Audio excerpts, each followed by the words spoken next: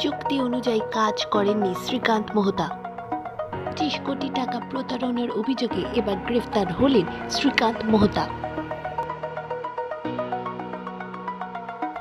রোজ valley মামলায় এবার CBI এর জালে ধরা পড়লেন টলিউড ইন্ডাস্ট্রির নামী প্রযোজক শ্রীকান্ত মহতা। সকালে কসবা অফিসে তাকে জিজ্ঞাসাবাদের পর নিয়ে যাওয়া হয় সিডিও কমপ্লেক্সে। গৌতম কুণ্ডুর বয়ানের উপর জেরা করা হয় তাকে। জেরার মুখে শ্রীকান্তের থেকে কোনো সদুত্তর না পাওয়ায় গ্রেফতার করা হয় তাকে। তার বিরুদ্ধে অভিযোগ, সিনেমা বানানোর জন্য রোজ ভ্যালির মালিক গৌতম কুণ্ডুর থেকে পঁচিশ কোটি টাকা নিলেও সেই সিনেমা হয়ে ওঠেনি। অ্যাক্রোপলিস মলের আঠেরো তলাতেই রয়েছে শ্রীকান্ত মেহতার অফিস।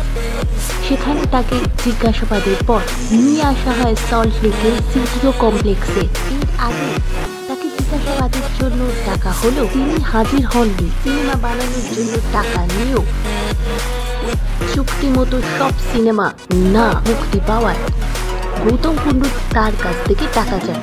কিন্তু সেই টাকা ফেরত দেয়নি শ্রীকান্ত মহতাব আর এরপরে তার বয়ানের জেরে জিজ্ঞাসাবাদ করা হয় শ্রীকান্ত মহাতাকে এবং এরপরে তার থেকে কোনো সদুত্তর না পাওয়ায় গ্রেফতার হন তিনি।